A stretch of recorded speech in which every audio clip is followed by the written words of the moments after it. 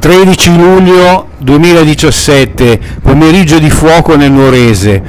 e incendi sulla costa orientale della Sardegna, dove nel pomeriggio due incendi di vaste proporzioni, entrambi generati dai diversi focolai, hanno provocato danni inestimabili al patrimonio naturalistico, riducendo in cenere tutto ciò che hanno trovato sul loro cammino messa a dura prova la macchina antincendio con le squadre degli operatori dei vigili del fuoco di Nuoro con due aerei e un elicottero.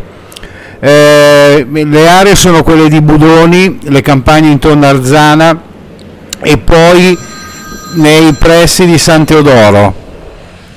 Al lavoro, oltre ai due Canadair e l'elicottero, numerosi volontari e alcune unità di servizio antincendio regionale Uh, il rogo ha provocato gravi danni, eh, a San Teodoro c'è stata anche la situazione critica nelle frazioni di Burrelis, Landui, Bigalavò e Malamuri, dove le fiamme hanno lambito le eh, abitazioni. Evacuate dai vigili del fuoco e dalle forze dell'ordine circa 400 persone. Ecco, la problematica degli incendi d'estate